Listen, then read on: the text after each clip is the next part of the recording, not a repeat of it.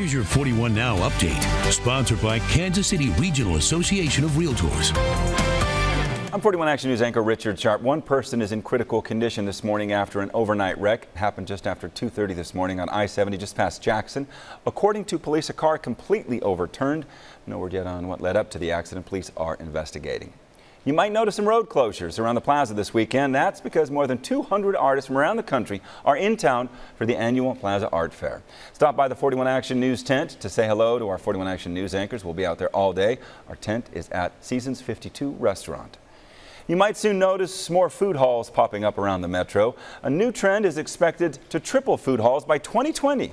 Parlor is KC's newest food hall. It offers seven local chef-driven concepts, bars, cozy seating areas, but it is not to be confused with a food court. Just two blocks away at 17th and Grand, developers plan to spend $95 million developing the site of the former KC Star building, including a food hall. They're still working on a final designs and a name, but they hope to be open by 2020. Your forecast is next.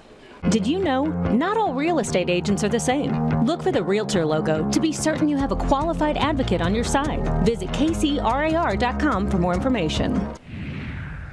I'm meteorologist Jeff Penner. Beautiful weather today, 68 to 73, sunny, near perfect as we enjoy the last day of summer. And as we look at fall beginning this evening at 8.54, 60s, 50s though by 9 to 10 p.m. A light east to southeast breeze, absolutely beautiful. Our next rain chance not until Tuesday. You can get your news and weather anytime on KSHB.com.